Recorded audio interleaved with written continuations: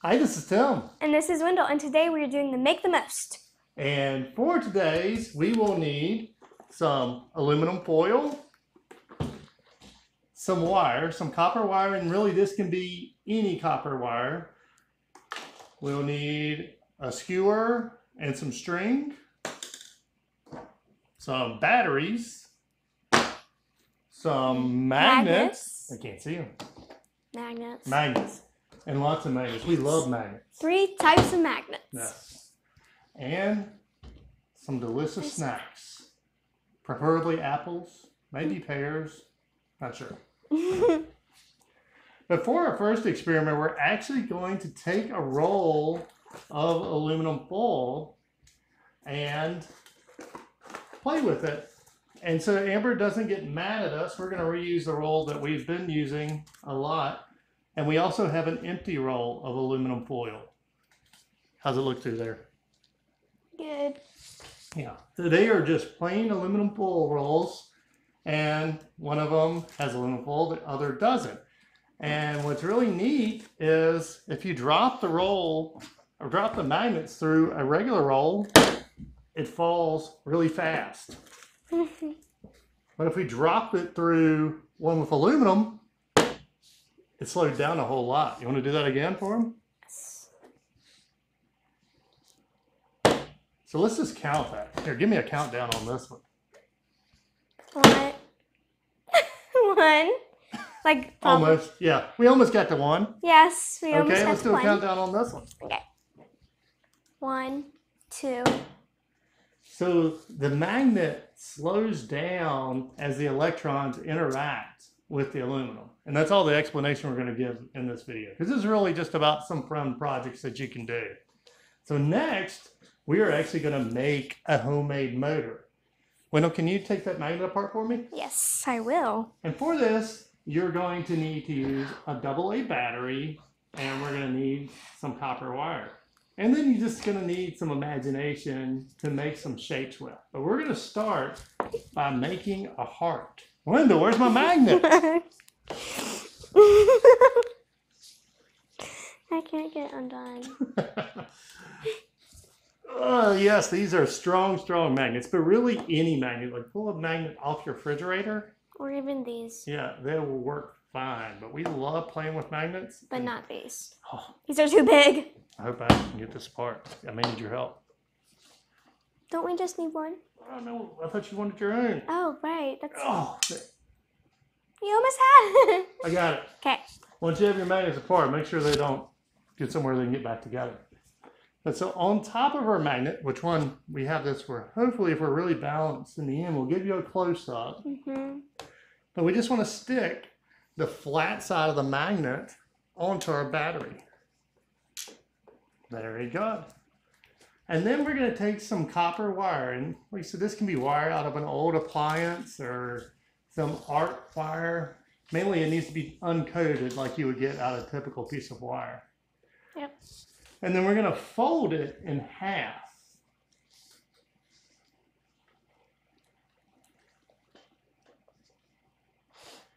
And then you want to crease the other end of it. And then we're going to take some pliers and really crease the end really good. So we have a sharp point on the end. You guys want me to get yours? Or you want to do it? You got Do it? it.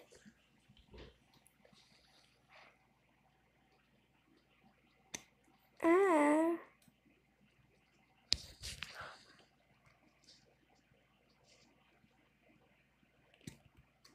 Was that good? Outstanding job. Okay. Okay, now we're going to make a half a heart with the two pieces of wire. Now, if you're if you have a finger the size of mine, you probably want to use your index finger. If you have a finger the size of Wendell's, you probably want to use your thumb. But we're going to wrap the wire. We're going to grab it like this.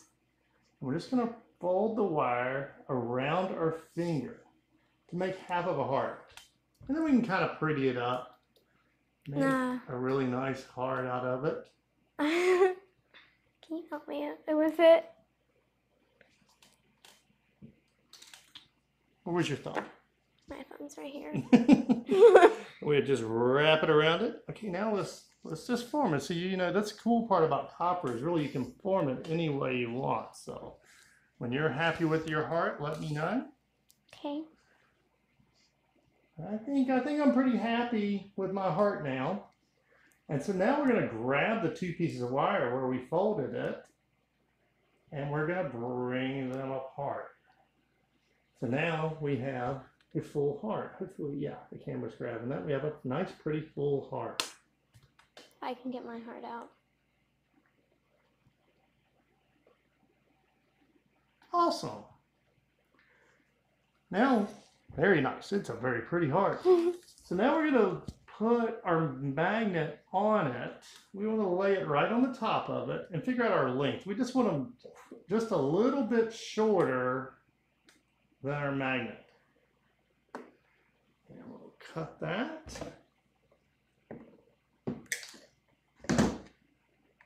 Ah, You want me to help you there? yes. And So just lay it on top and just eyeball. Because we can always trim it again. hmm We just want to cut it up where we're close. Doesn't have to be perfect. No, it does not. And now we want to take our heart and just widen it up enough that it's a little narrower than our magnet at the bottom. Something like that. Wendell's got hers ready. Yeah, it's trying. I think yours is a little wide.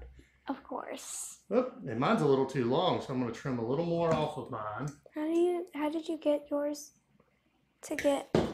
Just bend them back together a little bit. I don't know how to do that. And when you have it, and Ugh. can you get it? No, I can't. I think you got it. Yeah, I think yours looks good. It's crawling on me. Got a bug, got a spider. Scoot on out, Scudder. Uh, let's see. Yours is still a little long too.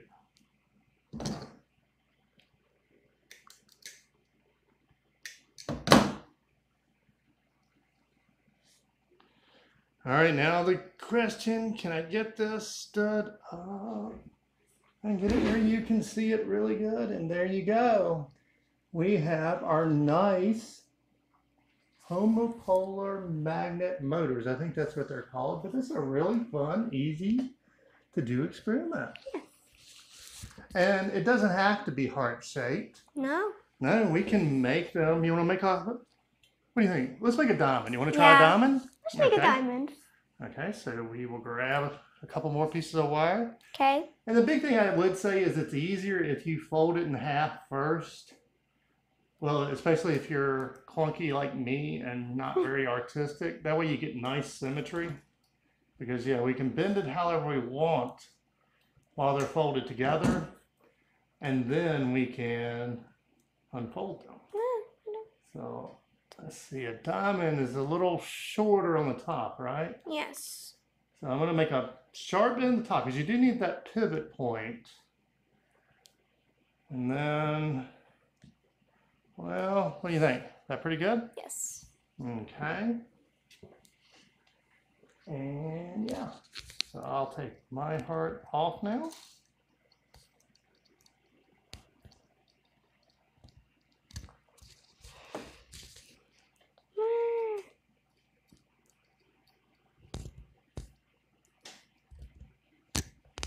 Can you help me? Mm-hmm.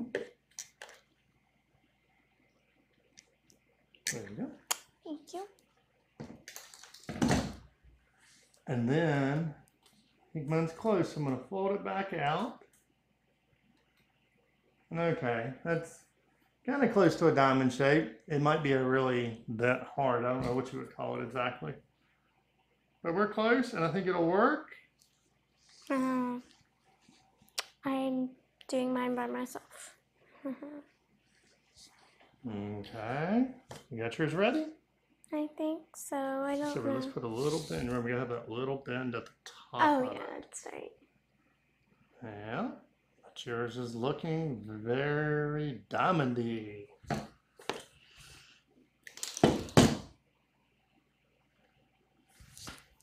Okay. Hmm. Okay, and up. I think mine's a little too little. It looks great. And so there we have our two diamonds rotating. Mm. Make any type of thing to them. Okay, and then we have one final one, or I think it's the final one. Yes. let's see, we'll use the tripod. Can that work? I think that'll work. Yep. And what we're gonna do is we have well, I say a skewer. We actually broke a paintbrush, the end off a paintbrush because we couldn't find a skewer. Nope. But we're gonna push one apple in, and then the other one. And we are going to wrap it around. Not the tie knot out. Yeah. Yeah. We don't want it to fall. Well, we also have to get that string in place. Okay, I think I can.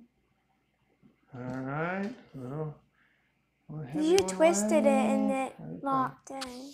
All right. I think we were ready. And so, well, let's let the string unravel. Hang, spin that around a little more. I think that's close.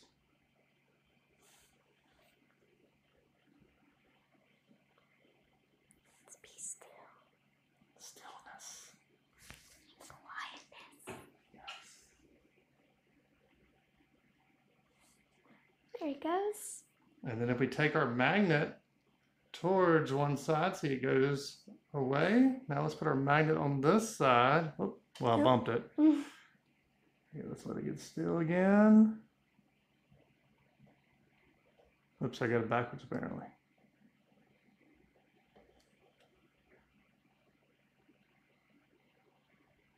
I think our string is still unraveling.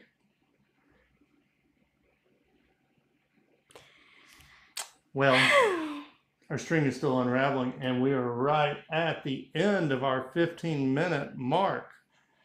I know. well, what should we do? no. Yeah. Let's have a snack.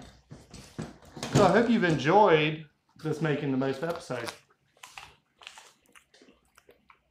It's a good apple. Mm-hmm. So please share this video using the hashtag make the most. The Making Foundation is doing some outstanding things over there. And if you like this, maybe they'll let us do it again. Thanks. Bye.